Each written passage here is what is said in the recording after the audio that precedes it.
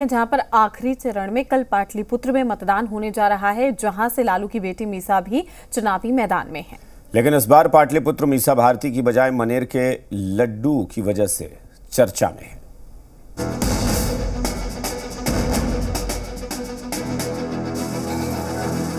बिहार के मनेर में लड्डू तैयार हैं।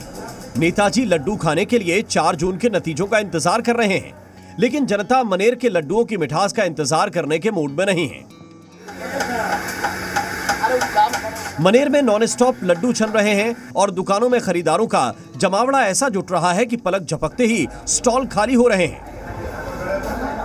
सेल तो बढ़ा है। सेल बढ़ा सेल बढ़ा है। वही कम से तीस चालीस किलो तीस किलो चालीस किलो के आसपास मनेर के लड्डू खा गया है हो दरअसल हफ़्ते भर पहले पीएम मोदी पाटलिपुत्र में बीजेपी उम्मीदवार रामकृपाल यादव के लिए जनसभा करने पहुँचे थे। इसी लोकसभा क्षेत्र में एक जगह है मनेर, जिसके लड्डू विश्व प्रसिद्ध हैं। और पीएम मोदी ने भी मंच से इसका ज़िक्र कर दिया। मनेर के लड्डू मशहूर तो है, लेकिन लग रहा है कि मनेर के लड्डू की ताकत भी बड़ी है। आप लोग भी चार जून के लिए ये मनेर के लड्डू तैयार रखिए। पीएम मोदी के ज़िक्र के बाद मनेर के लड्डुओं की डिमांड बढ़ गई। दूर दूर से मनेर के लड्डुओं के लिए ऑर्डर आने लगे। बाकायदा एनडीए और इंडिया गठबंधन की तरफ़ से जीत की खुशी मनाने के लिए मनेर के लड्डू खिलाने की बात कही जा रही है।